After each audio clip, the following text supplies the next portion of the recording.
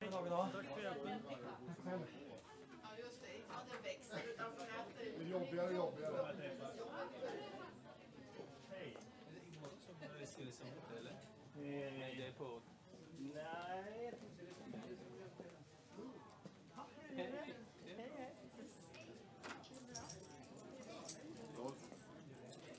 Jag såg att eh,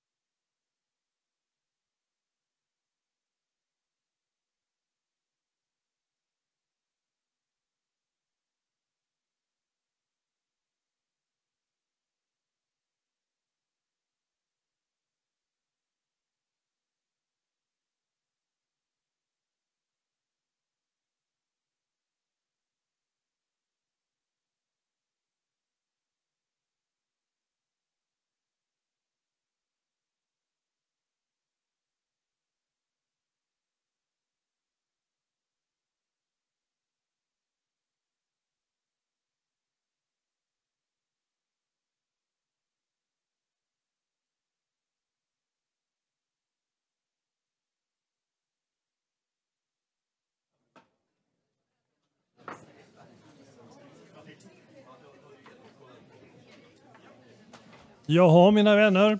Varmt välkomna till eh, denna underbart fina kväll. Vi hoppas och tror att vi eh, kan hantera kvällens agenda på ett vettigt och rimligt sätt. Jag börjar med lite praktiska upplysningar. Ni har tidigare fått mejl om byte av simkort. Det är alltså i paddan vi nu diskuterar. Den 24 april kommer Täby kommun att byta telefonleverantör från Telenor till Tele2. Ni behöver därför byta simkort i era iPads. Efter mötet kan ni hämta kuvert här hos kansliet. I det finns ett nytt simkort, en kort instruktion hur man byter det samt ett gem för att öppna facket till simkortet. Om någon behöver hjälp att byta sitt simkort kommer det att finnas en helpdesk som kommer att ha öppet under några timmar den 6-8 maj. Era iPads kommer att fungera med de nuvarande simkorten fram till dess. Alla ledamöter har fått ett mejl i Täbylådan med öppettiderna och rumsnummer för helpdesken. Till den första delen av vårt sammanträde finns en fråga att behandla. Jag kommer att meddela vilka ledamöter som är i tjänst efter punkten 3.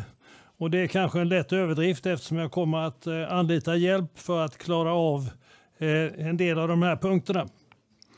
Vad gäller själva sammanträdet vill jag erinra om att den som väljs till justerare måste kunna komma den tiden, annars avstå. Justeringsarvode utgår bara om justeringstiden följs. Jag vill påminna om att all frånvaro och närvaro ovillkorligen ska anmälas till sekretariatet här på podiet så att listan över vem som tjänstgör och vilka som är närvarande hela tiden är aktuell. Jag vill också för ordningens skull påminna om att det underlättar för oss här på podiet om den som begär ordet visar om det är ett anförande eller en replik som begärs. Tecknet för anförande och tecknet för revik. Vi har en ny ledamot och en ny ersättare som jag hälsar välkomna ikväll. Per Rosengren, Sverigedemokraterna, är ny ledamot efter Peter Pihelgas. Kan Per Rosengren möjligtvis vara här och resa på sig? Han var sjuk, okej. Okay. Då kan vi bara tänka på honom såsom en vald ny ersättare.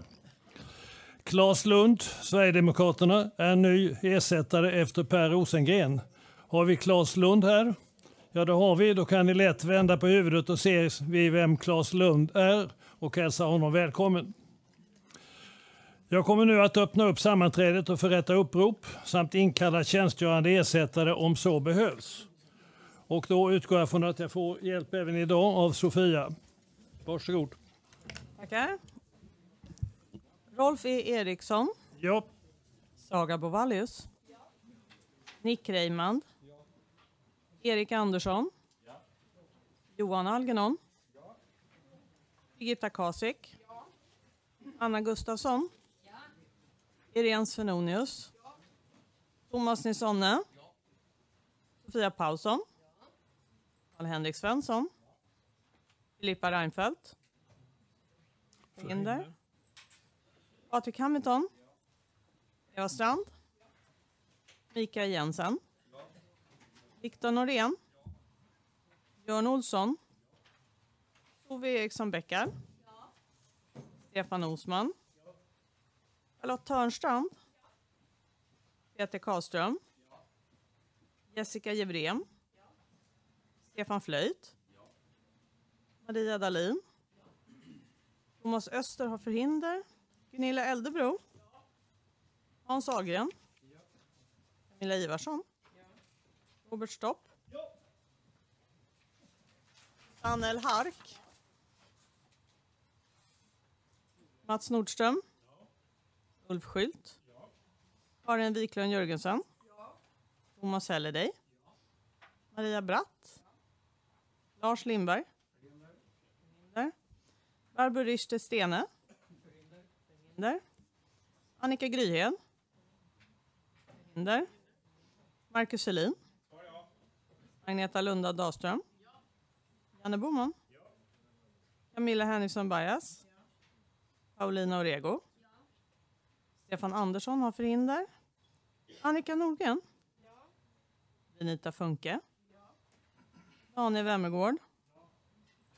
Stefan Norell. Förhinder. Roger Björkbacka. Tore Wiberg. Kristoffer Nyström. Steven Görsäter. Angelica Andersson. Per Rosengren av förhinder. Camilla Brodin. Förhinder. Tobias Karlström. Christer Svarets. Rut Kasselbrandt Ludvig. Eva Petrus. Kerstin Espman. Niklas Evén. Förhinder. Marie Sjölund. Gerhard Makowski. Isabelle By. Line Wemberg. Ann Andersson. Lars Hagström. Cecilia Falk. Förhinder. Mats Källqvist. Andreas Gustafsson. Oskar Malmqvist. Gunnar Göransson. Shirin Dulski. Örjan Winqvist. Elin Ekeroth. Lars Thunberg. Förhinder. Sandra Baruta Elvin har förhinder. Lena Dahl. Josefin Friman. Axel Nordin. Eva Lindå. John van den Tempel. Rigmor Svaneberg. Pietro Marchesi. Lena Kvarnström. Mats Wilhelmsson har förhinder. Julia Kronlid. Förhinder. Lena Ljungbäck. Claes Lund. Gunilla Törnqvist. David Nilsson. Lisa Giertz. Förhinder. Riddersin. Förlåt. Ja, förlåt. Där. Riddersin.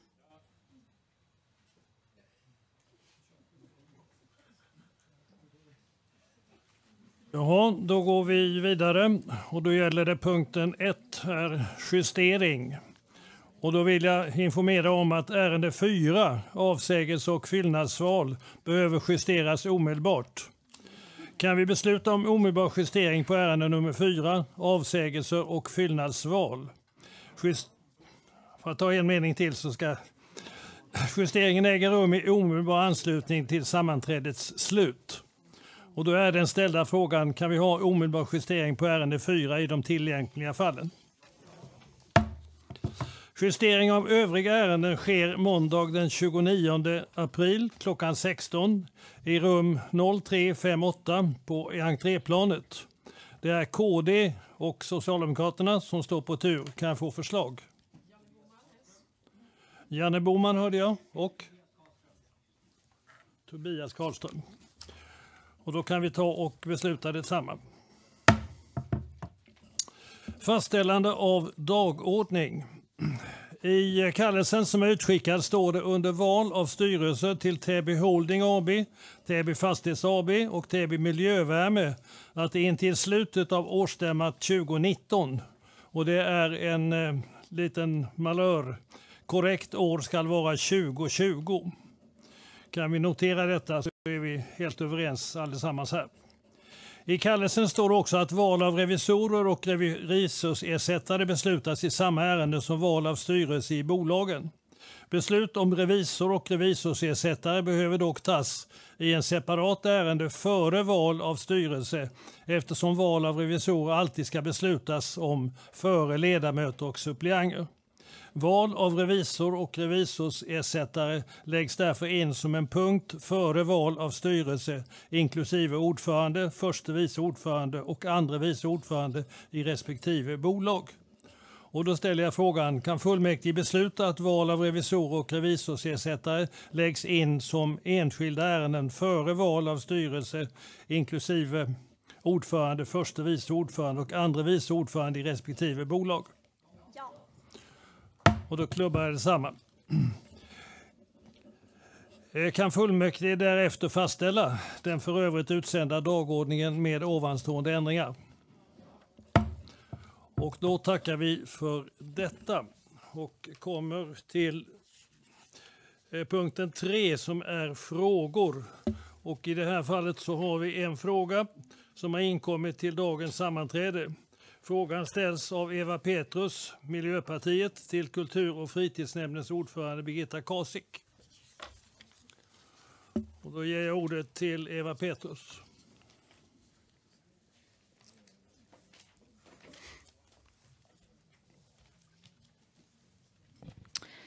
Ordförande, ledamöter och åhörare. Det här är en fråga till ordförande i kultur och fritidsnämnden, eh, Birgitta Kasik. Och eh, det har kommit till vår kännedom att den moderatledda alliansen har för avsikt att lägga ner den kommunala musikskolan med den individuella musikundervisning inom Täby kulturskola under hösten 2019. Anledningen som anges är att den går med underskott.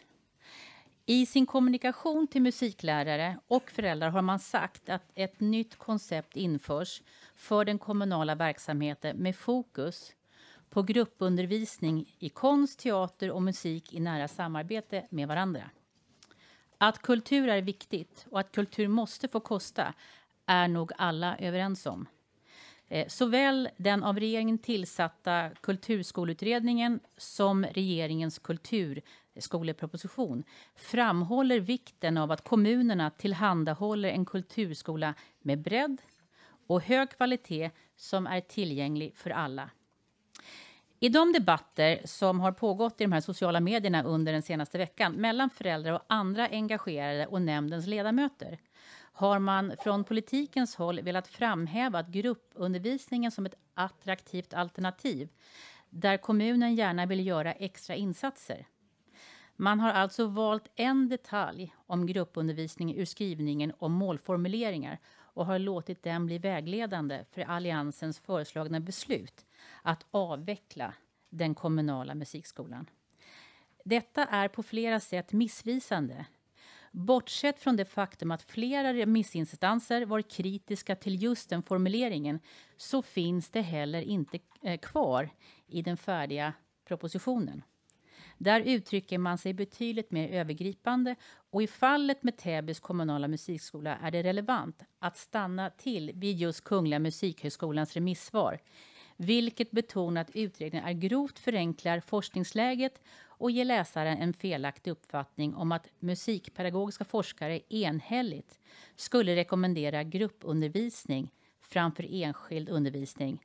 Man exemplifierar med flera studier som pekar åt motsatta håll.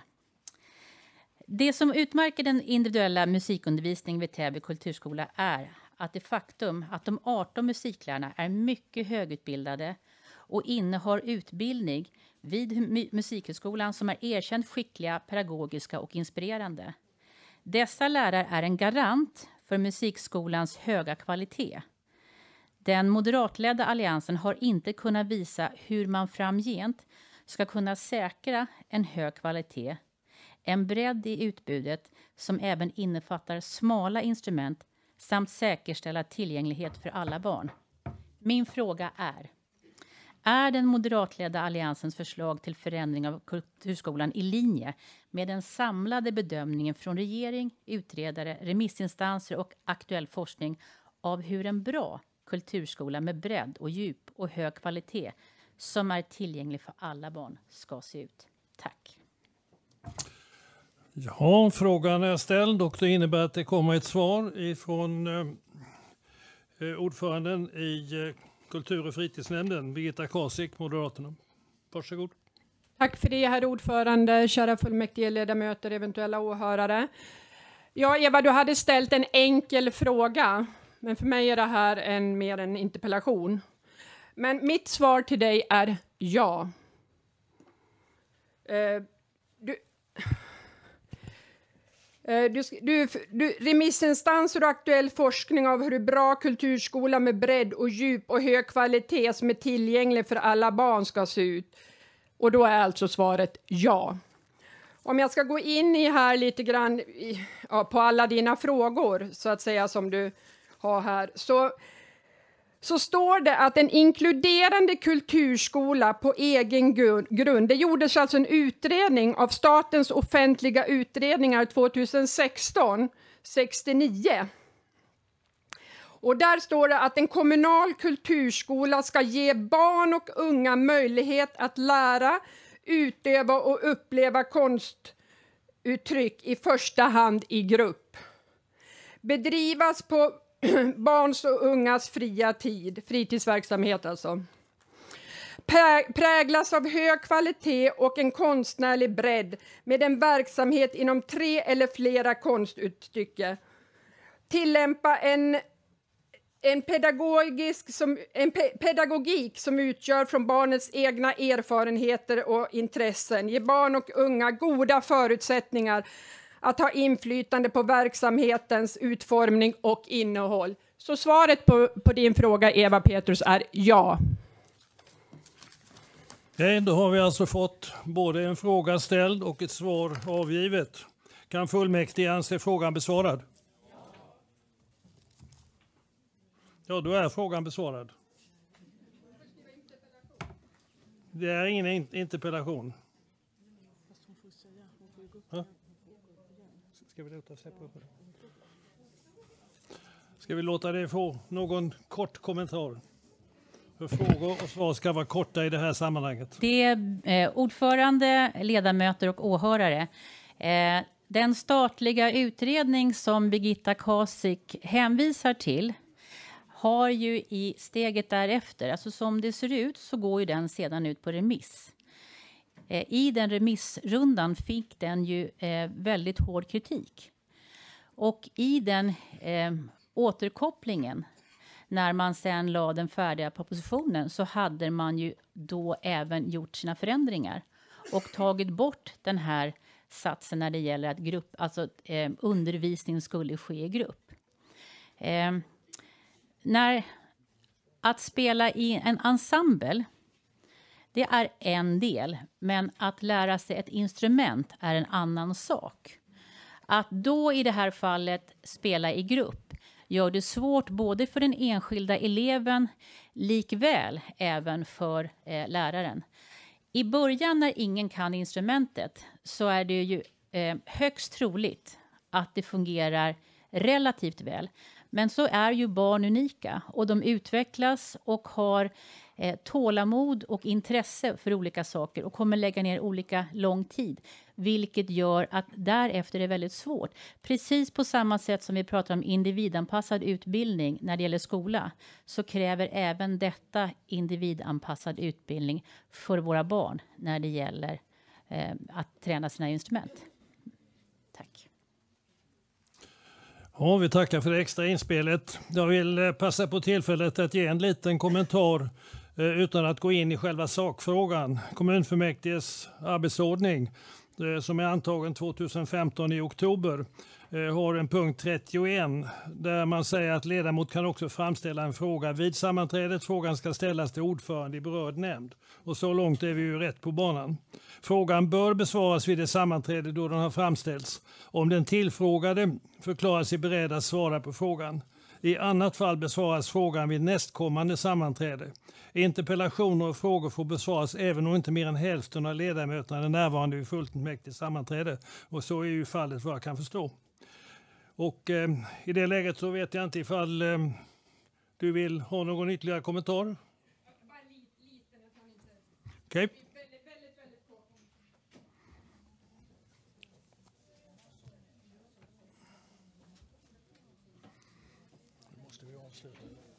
Ordförande, fullmäktige ledamöter. Ja, men Eva, en grupp, det kan ju vara två till tre personer. Det kan vara fem till tio personer. Och vi, alltså individuell musikundervisning kommer ju att finnas kvar i Täby. Vill du spela individuellt så får du spela individuellt. Det blir ju bara en annan utförare på de individuella instrumenten. Så där har du fel. Ytterligare kommentarer uppenbarligen. Varsågod Eva. Ja, alltså det som Alliansen har lyft fram det är ju gruppundervisningen. Men om det nu ändå är som så att den ändå ska vara kvar så är min fråga varför kan inte den kommunala musikskolan då få vara kvar och genomföra den här utbildningen? Det är ju ändå som så här, eh, det jag reagerar lite grann mot det är att man säger att den inte går runt. Och då är det en reflektion från min sida med erfarenhet av att ha suttit ganska många år i barn och grundskolenämnden. Det här är ju ett sätt att få barn av olika anledningar att få utlopp för sin kreativitet. För mig är det mindre viktigt hur vi får dem till skolan och hur vi får dem att må bra. Men att vi tror att kulturen är ett sätt att vara en del utav en, ett barns uppväxt, det är jätteviktigt. Och har vi då en kompetent... Vi har, alltså jag, om, nu får jag tolka i det här fallet Alliansen, men jag, jag tror ändå att Alliansen tycker att de här 18 stycken pedagogerna som är anställda är duktiga. Det hoppas jag i alla fall. Eh, jag tror också att man tycker att de här 18 personerna har tillräckligt god utbildning och erfarenhet. Då är min fråga, varför bryter man sönder då ett koncept som uppenbarligen har fungerat? Har man däremot ansett att de inte är bra och inte gör sitt jobb, då har man ett arbetsgivaransvar att se till att de får en kompetensutveckling så att de kan leverera. Så, så jag, jag, har lite svårt att se varför man i det här fallet väljer... Är det här en ideologisk fråga? Är det därför man gör det här?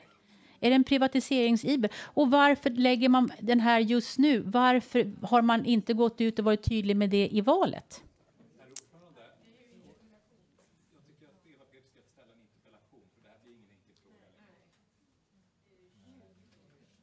Det verkar som om eh, kommunstyrelsens ordförande läste mina tankar. För jag har den bestämda uppfattningen att eh, breda frågor blir väldigt olyckliga om de kommer in i en sån här diskussion. Vi kan vara helt överens om att det är en frågeställare och en som svarar. Men man går djupare och djupare.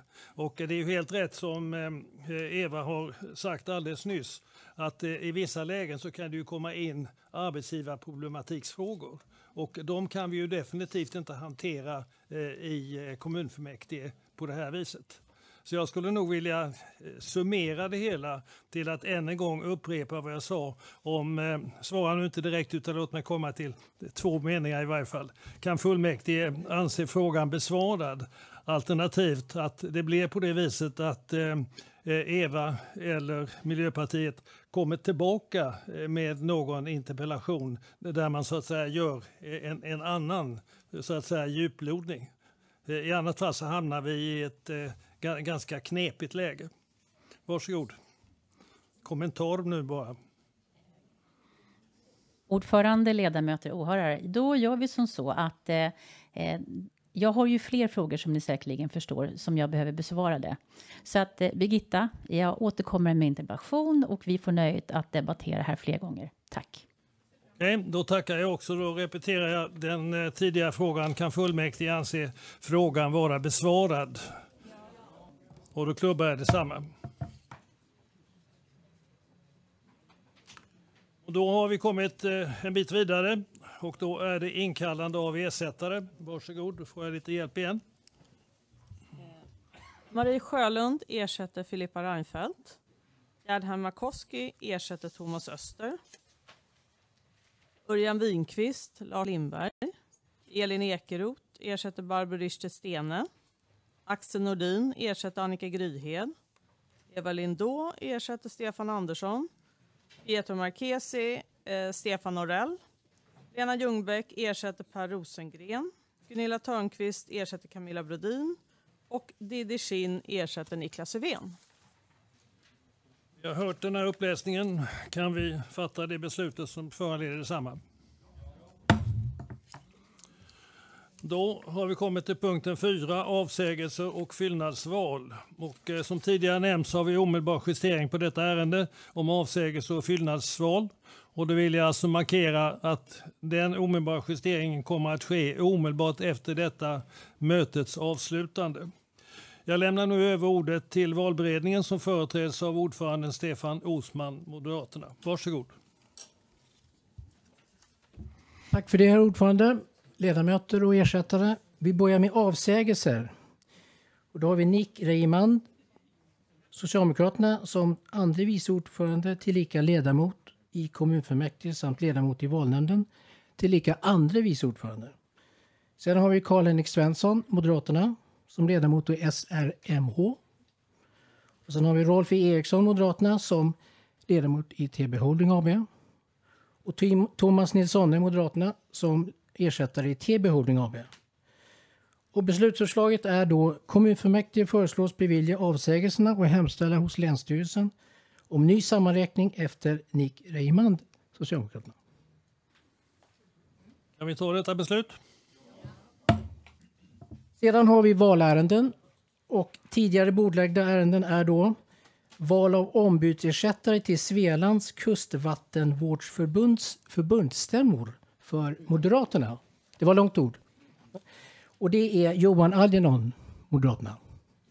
Sedan har vi val av ny ersättare i barn och grundskolenämnden efter Mikael Jönsson, Moderaterna. Karl-Henrik Svensson, Moderaterna. Sedan har vi val av ny ersättare i socialnämnden efter Josefine Friman, Liberalerna. Bordläggning. Det var de val, jag vet inte om du, det var tidigare bordläggning, jag vet inte om vi ska ta alla i en klump eller? kan ju ta det i eh, lämpliga delar så ställer, kan vi ta dessa beslut som nu har för, förelagts oss. Och då har vi då nya valärenden och det är då val av andre vice ordförande i kommunfullmäktige efter Nick Reimand, eh, Socialdemokraterna, bordläggning. Val av ny ledamot i valnämnden tillika andre vice ordförande efter Nick Reimand, Socialdemokraterna, bordläggning. Val av ny ledamot i SRMH efter Karl-Henrik Svensson, Moderaterna. Gerhard Makowski, Moderaterna. Sen har vi val av ny ersättare i SRMH efter Gerhard Makowski, Moderaterna. Emil Botes, Moderaterna. Sen har vi val av ny nämndeman i Attunda tingsrätt efter Ingvar Karlsson, Sverigedemokraterna. Claes Lund, Sverigedemokraterna. Sen har vi val av väx, vigselförrättare, Sverigedemokraterna, bordläggning. Val av ny vice ordförande i SRMH, Irma Kilim, Socialdemokraterna, och det är Vaxholmstad. Val av ny ledamot i TB Holding AB efter Rolf E Eriksson, Moderaterna. Tom, Thomas Nilsson, Moderaterna. Och slutligen val av ny ersättare i TB Holding AB efter Tim, Thomas Nilsson, Moderaterna. Rolf E Eriksson, Moderaterna. Det var det.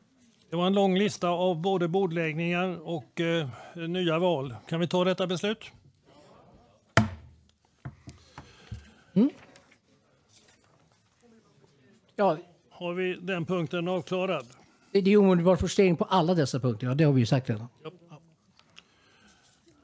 Okej. Då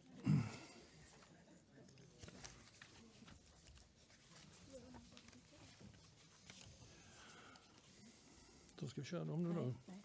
De tar vi senare. Mm. Detaljplan. Och då mina vänner går vi vidare till eh, detaljplan för del av fastigheten Tibble 816. Ny simhall Täby. Beslut om antagande. Och där föreligger ett beslutsförslag eh, att kommunfullmäktige beslutar att anta detaljplanen för del av fastigheten Tibble 8:16 ny simhall i Täby kommun. Och då är beslutsförslaget försett med en fråga som heter Kan fullmäktige besluta enligt kommunstyrelsens förslag? Ja. Varsågod.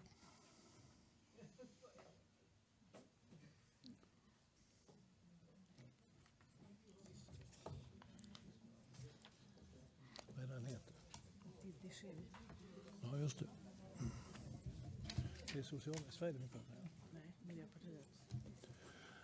Och då är det Tack ordförande. Miljöpartiets representant som... Varsågod. Tack.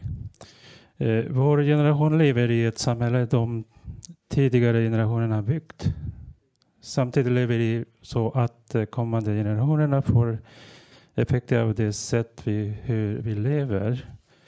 Vi utvinner naturresurser med så ett högt tempo att vi lever som om det fanns mer än fyra planeter.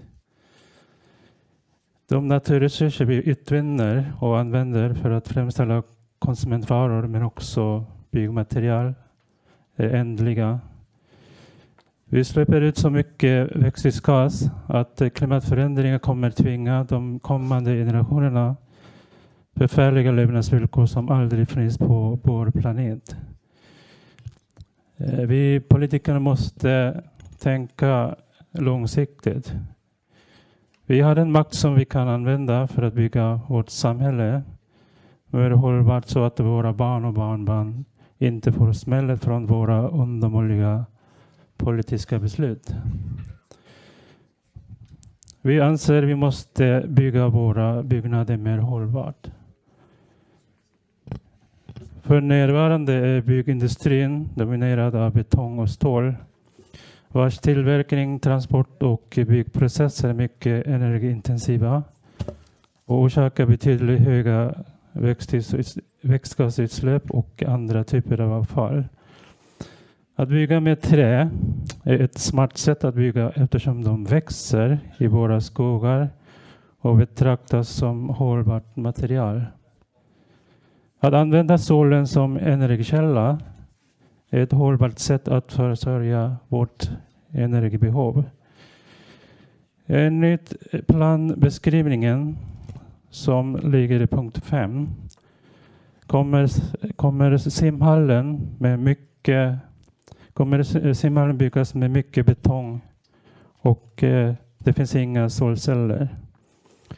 Därför yrkar vi de, eh, Miljöpartiet och gröna återremiss och vill att de förslag som anges i vår motion som lämnas vid slutet av mötet prövas. Tack så mycket. Erik Andersson har begärt ordet. Herr ordförande, nu är vi uppe i detaljplanärendet. Jag hade inte tänkt orda så mycket här, för det här är ju själva beslutet om detaljplanen. Det är möjligtvis i nästa ärende som ni begär återremiss, om jag får tolka dig rätt. Eh, för det är dumt att fördröja en detaljplan i så fall. Eh, men jag kan bara säga att vi eh, kommer att uppnå de miljö och energimål som ställs enligt Miljöbyggnad Silver och det är väldigt, väldigt eh, hårda krav. Och sen så undrar jag, är det överhuvudtaget möjligt att bygga ett badhus i trä? Jag tror inte det, herr ordförande. Men jag återkommer till nästa ärende. Bifall till detta. Och då har jag anledning att ställa frågan, vill du ha replik här nu?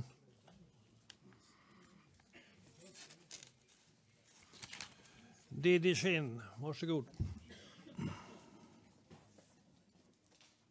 Tack ordförande. Jag anförde detta därför att det finns en eh, planbeskrivning som innehåller alltså, det, anför, som, som säger att det finns eh, mycket betongmaterial som ska användas i, i nya simhallen. Eh, och eh, på ett svar på din fråga om det går att bygga en simhall med trä? Svaret är ja. Det finns, ett, det finns en simhall i Norge och eh, ja, det finns en simhall som, som, som används just nu i Norge. Vi kan titta på den sen. Tack. Då är det på det viset att jag tolkar din eh, kommentar här nu på ett sådant sätt att du delar uppfattningen som jag har och som kommunstyrelsens ordförande har att den här frågan om detaljutformningen inte är möjlig att knyta till den övergripande frågan angående detaljplan utan du kan ta upp den i nästa steg. Okej, okay, jag fick ett jakande på den punkten och då tar jag och eh, tackar för det och då är beslutsförslaget som jag läser en gång till. Kommunfullmäktige beslutar att anta detaljplanen fördela fastigheten Tibble 816 ny simhall i Täby kommun. Kan fullmäktige besluta enligt kommunstyrelsens förslag?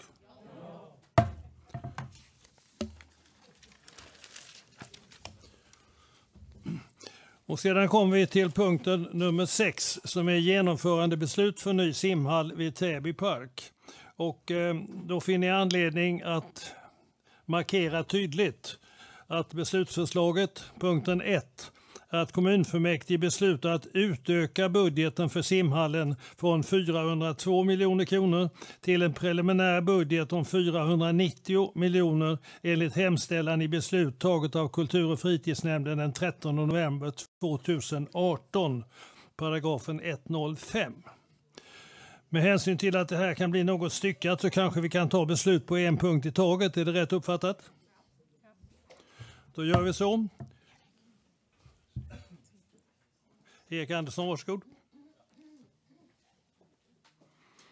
Herr ordförande, jag hade tänkt att gå upp och säga några ord just om det här ärendet. Okej, okay, varsågod. Eh, som sagt, eh, fullmäktige, jag hoppas ni haft en trevlig påskledighet och välkomna tillbaka. Det här beslutet som vi står inför idag, det är ju ett, eh, det är ett väldigt stort beslut. Det är mycket pengar, det är inte välfärdens kärna, men det är eh, nödvändigt för en kommun som Täby att ha en fungerande simhall. Helt enkelt. Men det är mycket pengar vi pratar om. Eh, frågan har ju diskuterats under tio års tid om eh, Tibblebadet som har tjänat oss väl, som har tjänat Täbyborna väl under lång tid. Tibblebarnet är ungefär lika gammalt som jag är. Fast det kan man inte tro. Det är fortfarande, det är fortfarande fräscht. Och, eh, men vi har lappat och lagat helt enkelt. Men eh, jag måste ändå säga att äntligen så tar vi ju beslut i det här ärendet efter så många år som vi har diskuterat fram och tillbaka hur vi ska göra med en ny simhall. Och att vi tar också beslut om att gå ut på upphandling. Eh, och, eh, och det vi gör nu det är att gå ut och pröva marknaden. Förhoppningsvis så får vi ett bra pris, ett ännu bättre pris än vi tror i vår projektering. Men eh, eftersom kommunen har projekterat ärendet eh, Eh, så har vi minimerat riskerna så mycket som möjligt. Eh, så att vi skulle kunna få en eh, kostnad, en totalkostnad på eh, ett kommande bygge av en, eh, av en ny simhall. Och eh, huvuduppgiften givetvis för en simhall är att eh, vi lär ju våra barn och ungar att simma. De kan inte bara simma i våra sjöar eller Stora Värtan, utan vi lär dem simundervisning och det räddar liv och det är väldigt viktigt. Det är träningsmöjligheter och det är tävlingssimning. Eh, vi har en eh, bassäng eh, som endast ja, ett tiotal kommuner i Sverige kan erbjuda. Vi har 192 plus 108 läktarplatser. Ehm, det kommer att bli ett familjebad. Och då kan man ju tänka sig att varför ska vi ha ett familjebad? Jo, därför att för det första har det efterfrågats, men för det andra är så täcker familjebadet sina egna kostnader i de kalkylerna som vi har gjort. Och, och det ska vara tillgängligt för alla. Och det kommer också fortsatt finnas ett gym. Det är klart att det finns risker och jag har varit inne på de riskerna. Den ena risken är ju givetvis priset och den andra risken är ju såklart staten i det här fallet som Länsstyrelsen. Men om allting går vägen så har vi ett nytt bad 2022 på plats och eh, det hoppas jag verkligen att vi kommer få för att Tibblebadet må vara fräscht, men jag tror inte att vi kan lappa och laga så länge till. Så att eh, därför förordar jag ett bifall till kommunstyrelsens förslag. Okej. Okay. Det innebär att jag har noterat eh, att det föreligger ett bifallsyrkande på hela punkten 6, genomförandebeslut för ny simhall. Och sen finns det en komplettering eh, på något sätt. Vill du formulera vad det är du tycker och så får vi ta de två stycken beslutsalternativen som finns. Ska du gå fram en gång till och summera det hela?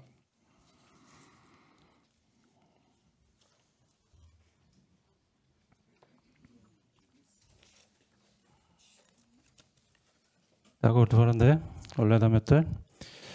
Ja, eh, vi säger så att eh, vi, ska va, vi ska bygga våra hus och eh, byggnader mer hållbart. Och det finns ett sätt att göra det. Eh, först använda trä istället för betong och stål. I de trähus som byggs nu i världen, det finns eh, på ett sätt att ersätta betong med trä. Alltså, man bygger inte hela byggnaden med bara trä utan det, alltså det, finns, det finns ställen som, måste, som man måste, där man måste använda, trä, äh, använda stål och betong. Vi säger så att eh, vi kan ersätta så mycket betong som möjligt med trä. Och det andra sättet är att vi kan eh, försörja våra el, alltså energi, med solceller. En simhall är en jättestor byggnad. Det finns plats att sätta solceller och det finns även moduler med solceller som man, som man kan eh, sätta på fasader. Och det är, så på, på det sättet kan vi bygga ett, en simhall hållbar, mer hållbart. Och i, eh, i bilagan 6.3 eh, det finns en, eh, på sidan 24 det finns en förklaring om konstruktionen. Det finns ställen där jag kan hitta så många platser som ska byggas med betongstommen, hela bottenvåningen, bassängerna och så vidare, och så vidare ska alltså ska byggas med betong. Det finns många ställen som, som man kan, där man kan ersätta betong med trä. Och vi vill att eh, så många, så mycket solceller ska, ska sättas på taket och fasaderna i simhallen. Tack så mycket.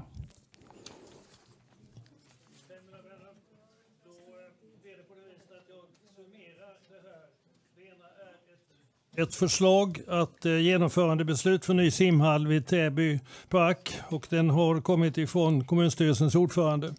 Och sedan när du var uppe första gången Didi Kinn så hade du ett yrkande om återremiss. Och då är min fråga huruvida ärendet ska avgöras idag eller det ska skjutas på framtiden. Skall ärendet avgöras idag? Skall ärendet skjutas på framtiden i form av en återremiss? Jag finner att beslutet ska tas, att det ska avgöras idag. Och då är det ett genomförandebeslut för ny simhall vid Täby park som har åtta sty eh, sex stycken punkter där jag läser alla. Punkten 1. Kommunfullmäktige beslutar att utöka budgeten för simhallen från 402 miljoner till en preliminär budget om 490 enligt hemställan i beslut taget av Kultur och fritid.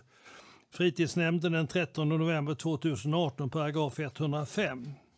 Punkten 2. Kommunfullmäktige beslutar säkerställa finansieringen av simhallens drift enligt hemställan i beslut taget av Kultur och fritidsnämnden den 13 november 2018. Även det paragrafen 105. Kommunfullmäktige beslutar godkänna förfrågningsunderlaget av upphandling avseende Täby simhall. Punkten 4. Kommunfullmäktige beslutar att ge kommunstyrelsen i uppdrag att anta leverantör. Kom Punkten 5. Kommunfullmäktige beslutar att chefen för fastighetsavdelningen får i uppdrag att efter beslut i kommunstyrelsen teckna avtal med leverantör samt om nödvändigt besluta om avbrytande av upphandlingen. Och punkten 6. Kommunfullmäktige uppdrar åt fastighetsavdelningen att genomföra projektet i Täby, Täby simhall. Och då är min fråga till fullmäktige, kan fullmäktige besluta enligt kommunstyrelsens förslag? Ja. Jag får finner så vara fallet. Punkten 7. Nej, det ingen. Nej, det kan jag säga. Nej. Då kommer vi till punkten 7. Och då är det ramavtal avseende planläggning och exploatering av fastigheterna Löttinge 912 och Löttinge 921 i Löttingelund. Och där har vi ett eh, beslutsförslag som lyder som följer. Kommunfullmäktige godkänner ramavtal mellan Täby kommun och Stadia Fastighetsförädling KB avseende fastigheterna Löttinge 912 och Löttinge 921. Punkten 2. Kommunfullmäktige ger mark och exploateringschefen i uppdrag att underteckna ramavtal med tillhörande bilagor samt att godkänna eventuella framtida överlåtelser av avtalet enligt paragraf 10 i ramavtalet. Och då kommer frågan, kan fullmäktige besluta enligt kommunstyrelsens förslag? Jag finner så vara fallet och klubbar detsamma. Punkten 8 gäller förslag till ombudgetering avseende bokslutet för 2018 för Täby kommun. Och eh, där har vi följande beslutsförslag. Men jag såg kanske en hand räckas här uppe. Jag tror att jag läser beslutsförslaget först och sen ska vi lyssna på den begäran till yttrande som kan komma. Punkten 1. Kommunfullmäktige beviljar nämnderna en ombudgetering av 2018 års resultat avseende driftsbudgeten till 2019 med totalt 10,6 miljoner varav kultur och fritidsnämndens budgetram minskas med 2,0 miljoner. Socialnämndens budgetram utökas med 9,1 miljoner kronor. Barn och grundskolenämndens budgetram minskas med 2,2 miljoner. Gymnasie och näringslivsnämndens budgetram utökas med 5,7. Punkten 2.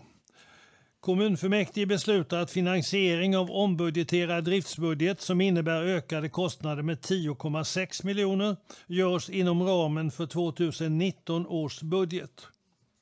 Punkten 3. Kommunfullmäktige beslutar att 2019 års budgeterade resultat efter justering enligt balanskrav justeras till följd av förslag till ombudgetering med 10,6 miljoner från 35,1 miljoner kronor till 24,5 miljoner. Punkten 4. Kommunfullmäktige beviljar nämnderna omfördelning av budgetramar med anledning av gymnasie och näringslivsnämndens inrättande, varav kommunstyrelsens driftsbudget minskas med 15,6 miljoner.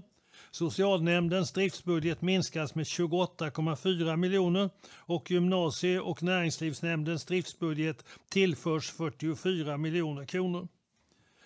Punkten 5. Kommunfullmäktige beviljar kommunstyrelsen en ombudgetering av 2018 års investeringsmedel med 0,3 miljoner för genomförande av investeringar år 2019. Punkten 6. Kommunfullmäktige beviljar Stadsbyggnadsnämnden omfördelning av 2019 års investeringsbudget mellan investeringsprojekten enligt bilaga 2 till rapporten Förslag till ombudgetering avseende bokslut 2018 för Täby kommun. Kommun, punkten 7. Kommunfullmäktige beviljar eh, kommunstyrelsen omfördelning har 2019 års investeringsbudget och tilläggsbudget har 2019 års investeringsbudget på 6,5 miljoner avseende tre projekt som inte ingick i verksamheten för 2019 enligt bilaga 1 till rapporten. Förslag till ombudgetering avseende bokslut 2018 för Täby kommun. Punkten 8. Kommunfullmäktige beviljar kultur och fritidsnämnden tilläggsbudget av 2019 års investeringsbudget på 5,0 miljoner avseende inventarier som inte ingick i verksamhetsplan för 2019. Och avslutningsvis punkten 9. Kommunfullmäktige beslutar att finansiering av investeringarna görs med ianspråktagande av rörelsekapital med 11,8 miljoner. Och det summeras till att jag ställer frågan, men vi har också fått en hand upp och den kommer från Kerstin Espman. Men jag kan ju läsa vad som är syftet och förhoppningen att komma i mål med, nämligen kan fullmäktige besluta enligt kommunstyrelsens förslag på de nio punkterna. Varsågod, ville du komma och säga någonting? Kerstin Espman, Miljöpartiet, varsågod. Ordförande, ledamöter och åskådare. Så vi hörde just precis att socialnämndens budgetram ska utökas med 9,1 miljoner kronor och socialnämndens driftbudget minskas med 28,4 miljoner kronor. I samband med detta är det absolut nödvändigt att påpeka att socialnämndens driftbudget för 2018 uppgick med en positiv avvikelse på 101,5 miljoner kronor. Hur är det då möjligt att ha 101,5 miljoner kronor oanvända när man vet att äldreboenden i kommunen skulle behöva satsningar? Flera av våra gamla lever inte ett värdigt liv. Eller vad sägs? När man uppmanas att skaffa ett nummer större byxa för att, eh, eh, för att få rum med en maxblöja istället för att få byta blöja förmiddag och eftermiddag. Var i ligger felet?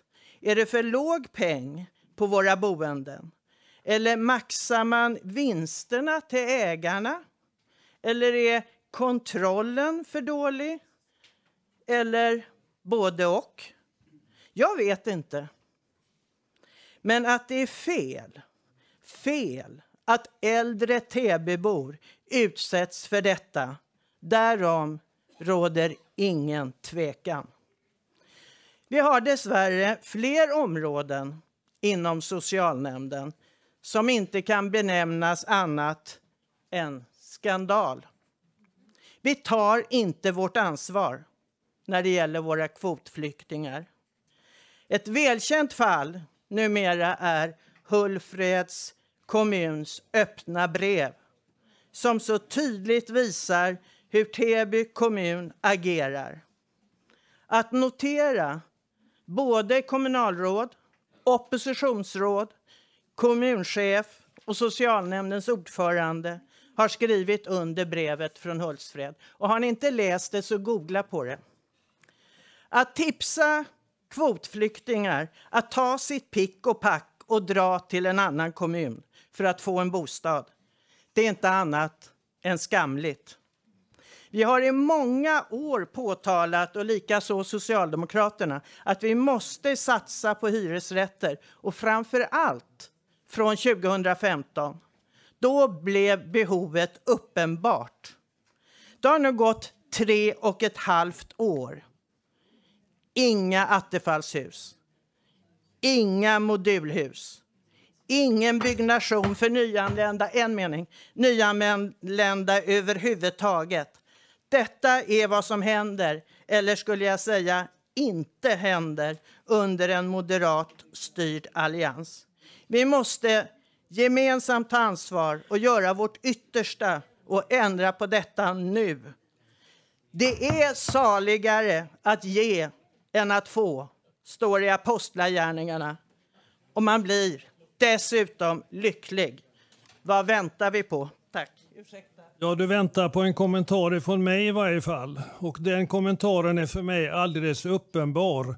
Att det är inte frågan om att ha en, socialdemokratisk, en, en social utläggning av det område som du nu har beskrivit. Det här är frågan om att kunna hantera pengamassor mellan olika bitar. Det finns alltid plats under ett kalenderår att diskutera innehållet i vad man ska göra i de olika nämnderna. Nu har jag... Är det Thomas som vill gå igång? Varsågod. Sofia Paulsson också. Va? Sofia. Och sen är det... Varsågod. Tack, ordförande, fullmäktige, ledamöter. Egentligen har jag tänkt att säga precis det som ordförande sa här, att det här hör ju faktiskt inte hemma här. Men jag blir lite upprörd, Kerstin, måste jag faktiskt säga. Jag tror att vi har pratat om det här förut i tredjehandsuppgifter. Jag tror vi ska vara jätteförsiktiga med denna församling att komma med tredjehandsuppgifter.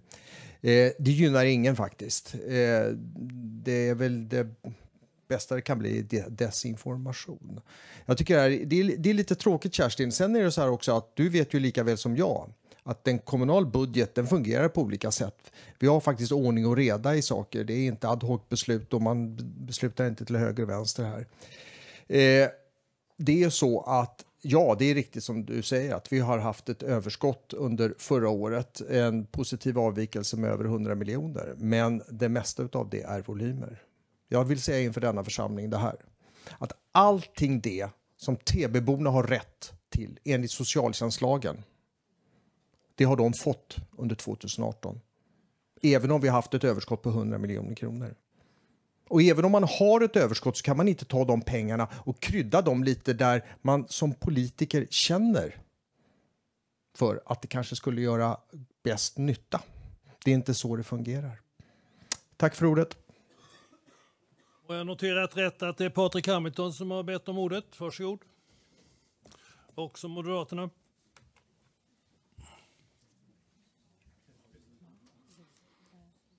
Herr ordförande, ledamöter. Ja, punkten som sagt är teknisk ombudgetering, men nu var det ju uppe Hultsfred och eh, det tycker jag inte får låta vara osagt. Jag kan bara säga så här att de uppgifterna som är väldigt detaljerade från Hultsfreds sida i det här individärendet stämmer inte. De stämmer inte. Vilket vi har gjort klart för Hultsfreds ledning under helgen. Tack så mycket. Därmed tror jag att vi kan glömma Hultsfred just nu i varje fall. En replik? Varsågod.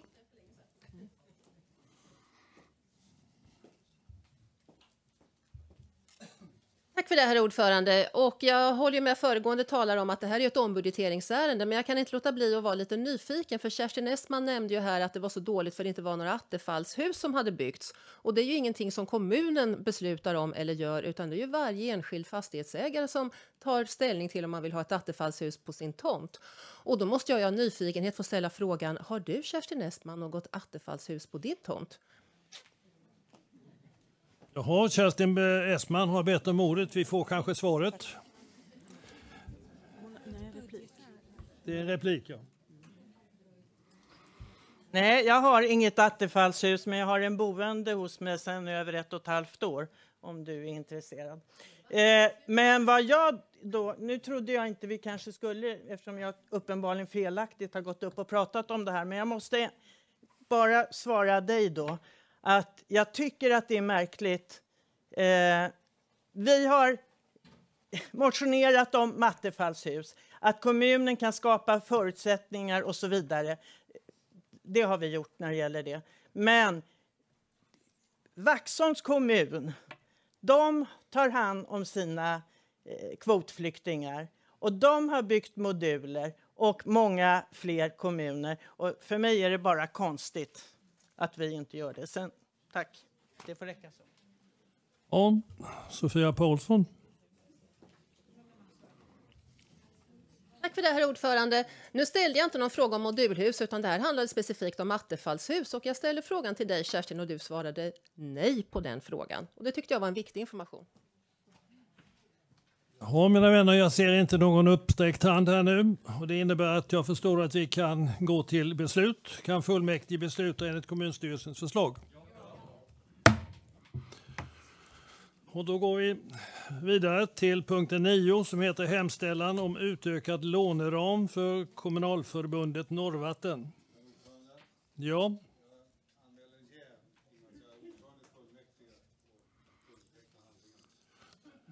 Mycket passligt. Vi tackar för det. Då måste vi ta in en ersättare.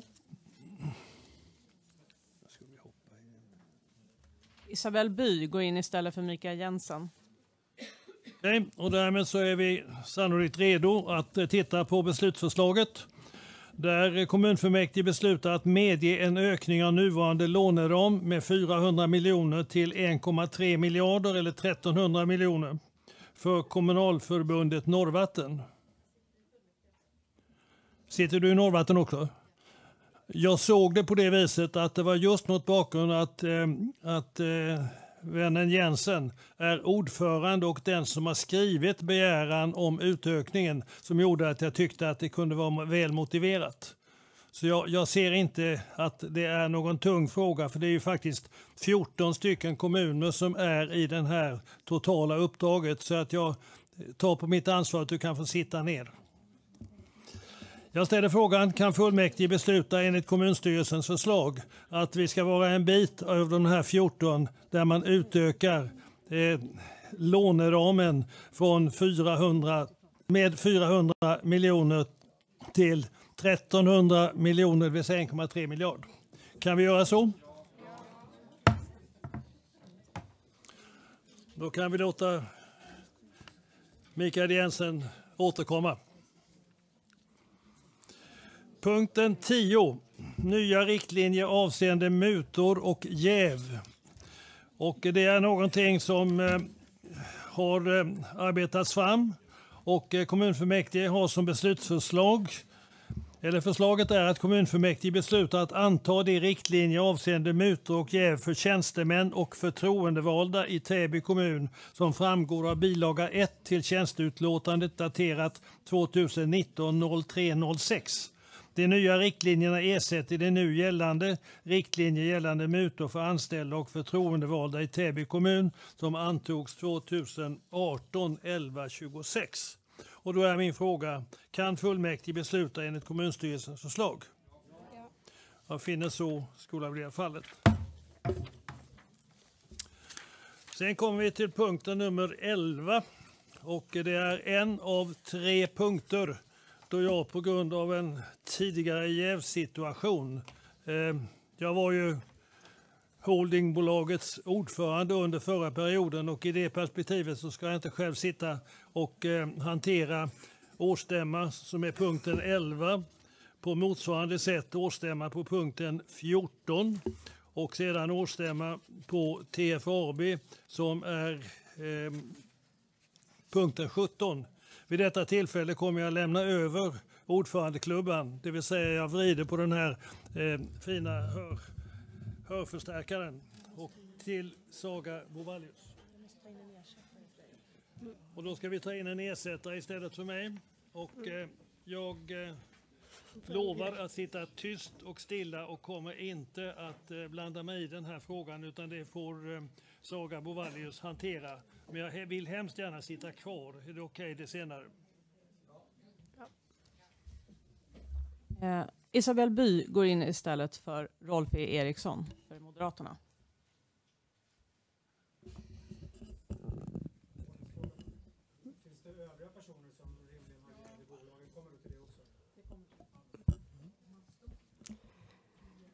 Och förslaget till beslut är att kommunfullmäktige upp, uppdrar till ombudet att vid Täby Holding ABs årsstämma fastställa resultaträkning och balansräkning för THAB enligt årsredovisningen för räkenskapsåret 2018. Besluta om disposition om vinstmedel i enlighet med styrelsens förslag i årsredovisningen att utdelning ska ske med 25 miljoner kronor till ägaren Täby kommun och resten, resterande del av det fria egna kapitalet ska balanseras i en ny räkning. 3. Bevilja styrelsen och verkställande direktören i bolaget ansvarsfrihet för räkenskapsåret 2018. Besluta 4. Besluta om arvoden till styrelser och revisorer enligt fullmäktiges beslut den 17 december 2018, paragraf 165. Punkt 5. Anmäla bolagets ägardirektiv i enlighet med kommunens verksamhetsplan 2019.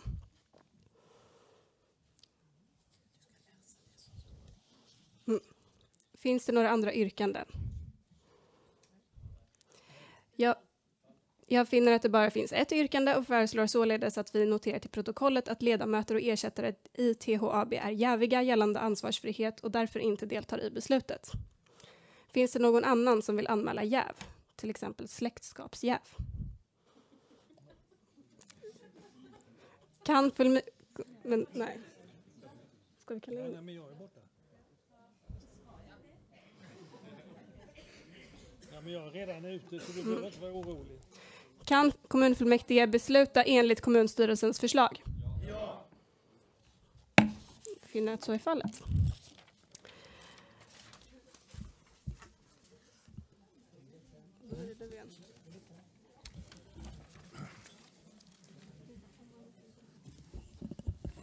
Och då byter vi tillbaka lite grann och det innebär att vi kommer till punkten nummer 12 som gäller val av revisor och revisorsersättare i Täby Holding från avslutad årsstämma 2019 fram till avslutad årsstämma 2020. Och då kan vi behöva lite grann hjälp av eh, valberedningens ordförande Stefan Osman, Moderaterna. Varsågod.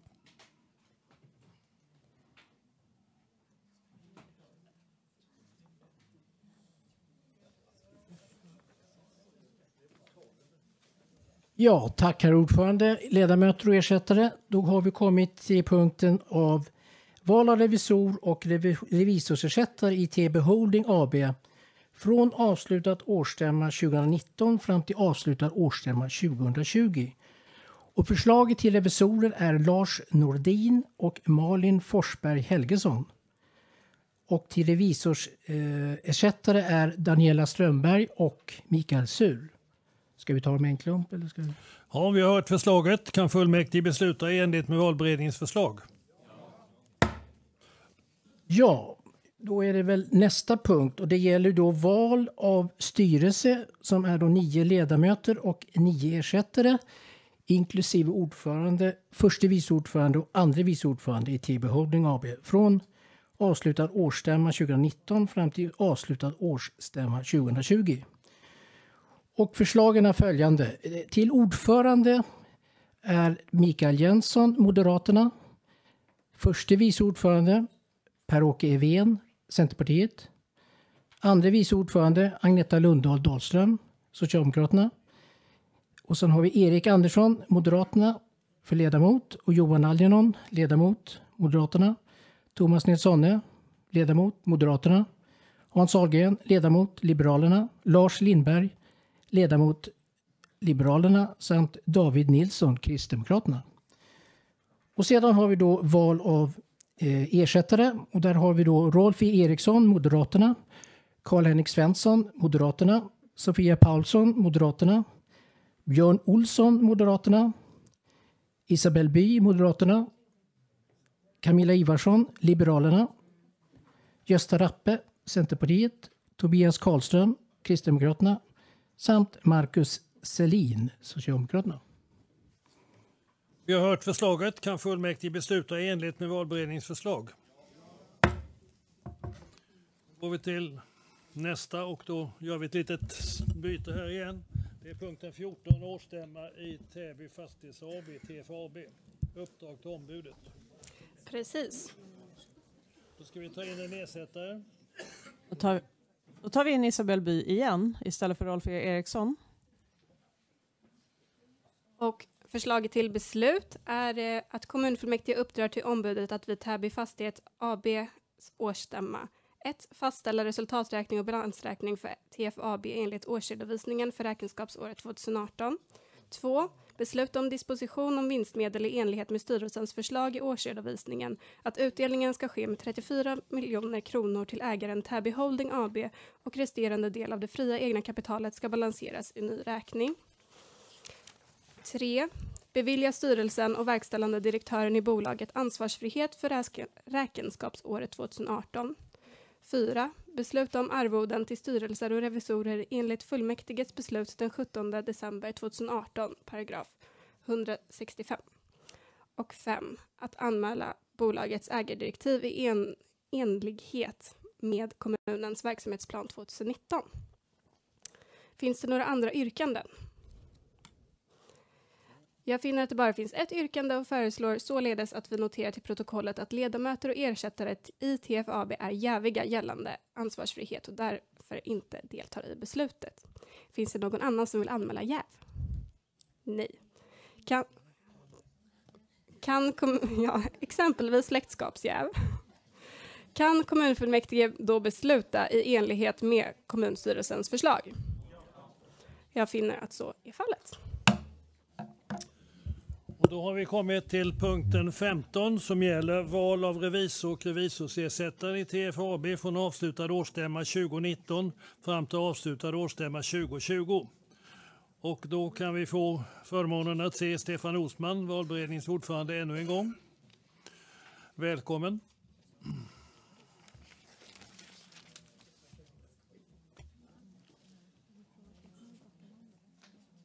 Ja, och då har vi kommit till val då av revisor och revisorsersättare i TB Fastighets AB från avslutad årsstämma 2019 fram till avslutad årsstämma 2020.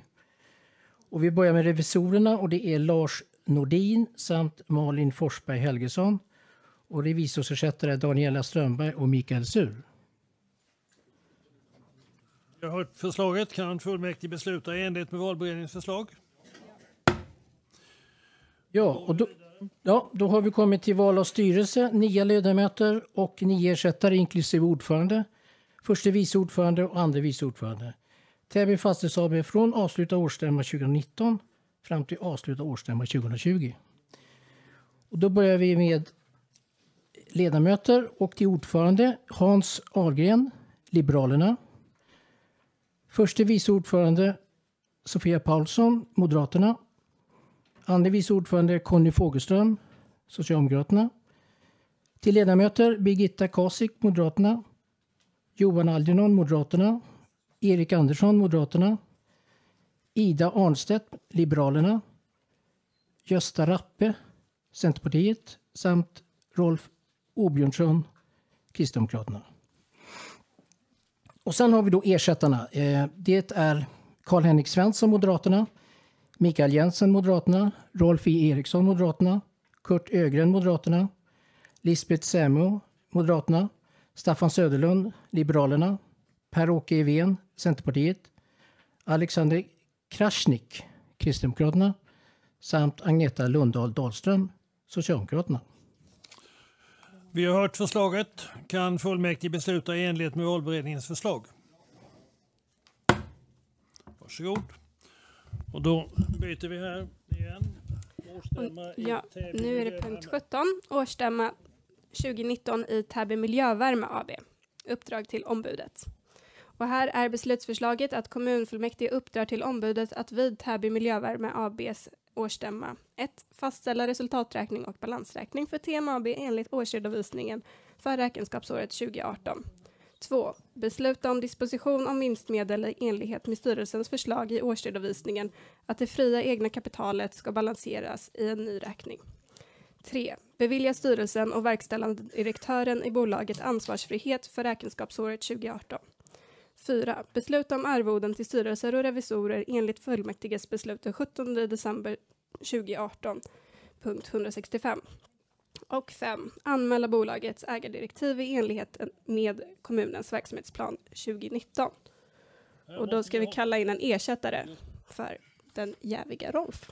Isabelle By går in istället för Rolf E Eriksson. Ehm, finns det några andra yrkanden? Jag finner att det bara finns ett yrkande och föreslår således att vi noterar till protokollet att ledamöter och ersättare i ITM AB är jäviga gällande ansvarsfrihet och därför inte deltar i beslutet. Finns det någon annan som vill anmäla jäv? Kan kommunfullmäktige då besluta enligt kommunstyrelsens förslag? Finner att så är fallet.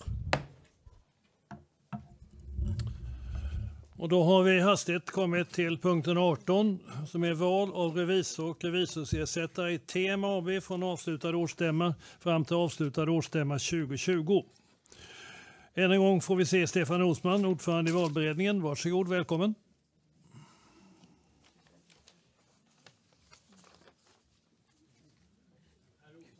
Ja. Är för att vi har lagt in de här. Vi tog Ja, skillnaden är ju att vi har lagt in revisorerna före de andra sakerna och då blev det en förändringssituation. Frågan är besvarad. Vi går vidare. Varsågod Stefan Osman. Ja, då gäller alltså då val av revisor och revisorsersättare i Täby Miljövärme AB. Från avslutad årsstämma 2019 fram till avslutad årsstämma 2020. Och där har vi Lars Nordin samt Malin Forsberg Helgesson som revisorer. Och sen har vi då revisorsersättare Daniela Strömberg och Mikael Sur. Vi har hört förslaget. Kan fullmäktige besluta i enlighet med valberedningens förslag? Varsågod, vi går vidare. Ja, och då, ta, då har vi då val av styrelse, nio ledamöter och nio ersättare, inklusive ordförande, förste vice ordförande samt andre vice ordförande i Täby Miljövärme AB från avslutad årsstämma 2019 fram till avslutad årsstämma 2020. Och till ordförande eh, är det Lars Lindberg, Liberalerna. Mikael Jensson, förste vice ordförande, eh, Moderaterna. Marcus Selin, andre vice ordförande, Socialdemokraterna. Karl-Henrik Svensson, ledamot, Moderaterna. Maria Dalin, ledamot, Moderaterna. Gerhard Makowski, ledamot, Moderaterna. Geo Rocksten, ledamot, Liberalerna. Johan Söderberg, ledamot, Centerpartiet. Allan Nilsson, ledamot, Kristdemokraterna. Sen har vi ersättarna. är Charlotte Törnstrand, Moderaterna. Jessica Jevrem, Moderaterna. Rolf E. Eriksson, Moderaterna. Lars Edvall, Moderaterna. Sven Hagström, Moderaterna. Håkan Öling, Liberalerna.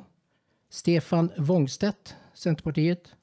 Rut Kassebrandt Ludvig, Kristdemokraterna. Samt Rigmor Svanneberg, Socialdemokraterna. Om vi har hört förslaget ifrån eh, valberedningen och då ställer jag frågan kan fullmäktige besluta i enlighet med valberedningens förslag? Varsågod, då är det klubbat. Och då har vi kommit till punkten 20 som gäller årsredovisning 2018 för Storstockholms brandförsvar, SSBF. Och där är beslutsförslaget att kommunfullmäktige godkänner årsredovisningen 2018 för Storstockholms brandförsvar och beviljar direktionen samt de enskilda ledamöterna i densamma ansvarsfrihet för verksamhetsåret 2018. Finns det några andra yrkanden på den här punkten? Uppenbarligen inte. Då finner jag i varje fall en sak och eh, det är att då det gäller ansvarsfrihet eh, så är det uppenbart att vi noterar till protokollet att ledamöterna Erik Andersson, Moderaterna och Ulf Schüldt är, eh, Liberalerna är jäviga och således inte deltar i beslutet gällande ansvarsfrihet. Och då måste vi säkert kalla in någon ersättare på den här punkten, eller hur? Det behövs inte. Det behövs inte, nej. Det är en, en, en breddad verksamhet i Storstockholm. Finns det någon annan som vill anmäla jäv av släktskäl eller annan omständighet motsvarande? Om det inte finns något annat yrkande så eh, är det helt enkelt bara ett förslag och det var det första som lästes och då är frågan kan fullmäktige besluta enligt kommunstyrelsens förslag?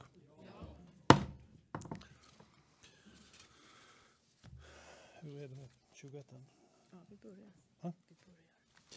Och då är det på det viset att vi har ett utökat projektbudget som är en frågeställning avseende Roslags Näsby. Och där ber jag er alla notera att det fortfarande råder sekretess i ärendet och kommunsekreteraren kommer att meddela när sekretessen hävs.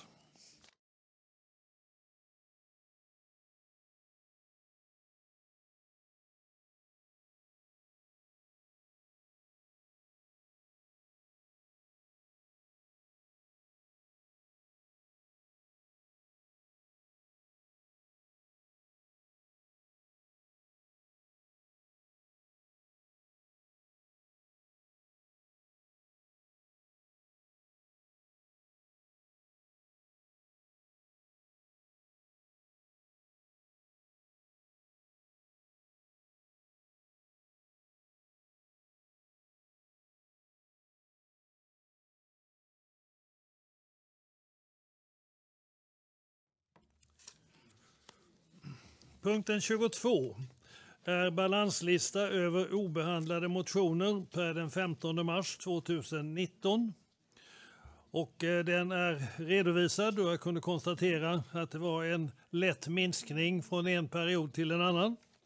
Och då kan vi ställa frågan att eh, kommunfullmäktige föreslås godkänna balanslistan daterad 15 mars 2019 över ej färdigbehandlade motioner.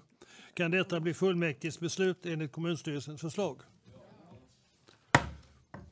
Och då har vi kommit till punkten nummer 23 som heter inlämnande av motioner. Och det är sex stycken motioner som har lämnats in till dagens sammanträde. Och eh, de sex som har eh, kommit in det är från Lise Gertz och Didis G, Miljöpartiet. Bygg den nya simhallen klimatneutralt och hållbart. Där kom den frågan tillbaka. Från Janne Bomans, Socialdemokraterna, byggande av additionslägenheter. Den tredje motionen från Janne Boman, Agneta Lundahl Dahlström, Stefan Andersson och Camilla Henriksson Bajas, alla Socialdemokraterna. Barnbokslut för Täby kommun. Den efterföljande motionen är från Janne Boman, Socialdemokraterna, som gäller gemenskapsboende för unga och gamla följt av Tore Wiberg, Sverigedemokraterna, som vill få en redovisning på kostnaderna för mottagande migranter. Och återigen, den sista, från Tore Wiberg, eh, Sverigedemokraterna inrätta en äldrenämnd. Medger fullmäktige att motionerna väcks? Då klubbar vi det. Och då är den efterföljande frågan. Kan fullmäktige besluta att remittera motionerna till kommun, kommunstyrelsen för beredning? Och då blir det ett, ett klubbat beslut även på detta. Sen har vi då eh, punkten 24 som är inlämnande av interpellationer. Och två interpellationer har inlämnats in till dagens sammanträde. Den första från Janne Boman Socialdemokraterna, till socialnämndens ordförande Thomas Nilsson, eh, Moderaterna. Vilken beredskap har kommunen inom äldreomsorgen vid en eventuell värmebölja i sommar? Och det kommer en ytterligare interpellation från Janne Boman, Socialdemokraterna, till kommunstyrelsens ordförande Erik Andersson. Utredning om lägre byggkostnader. Medger fullmäktige att interpellationerna ställs? Då klubbar jag detta kan fullmäktige besluta att bordlägga interpellationerna till nästa sammanträde. Och även det verkar vara ett klokt beslut så att jag är beredd att klubba detsamma. Jag ber att få tacka för kvällens ganska långa men ändå väl hanterade tycker jag eh, agenda. Och eh, nu ber jag de som ska vara med och justera kommer fram så att det blir Hämta simkort. Och vidare får ni inte glömma bort att hämta simkort, ni som är simkunniga.